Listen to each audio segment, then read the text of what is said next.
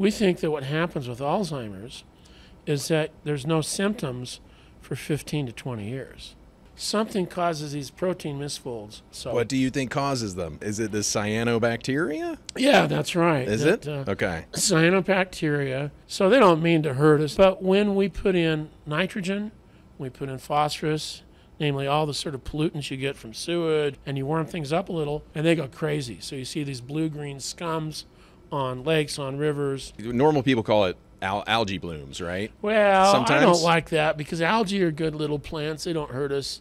But These sometimes, are bacteria. There's but but sometimes those blooms are referred to as as, blue-green algae Yeah. sometimes. We saw a news report that there was this blue-green gunk coming down the St. Lucie River to Stuart and Indian River Lagoon.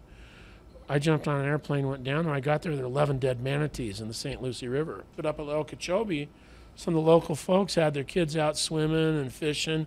One of the moms called me, "Why are you wearing that weird stuff?" Because I was in hazmat. And I said, "Well, this is very dangerous stuff." They said, "Nobody told us."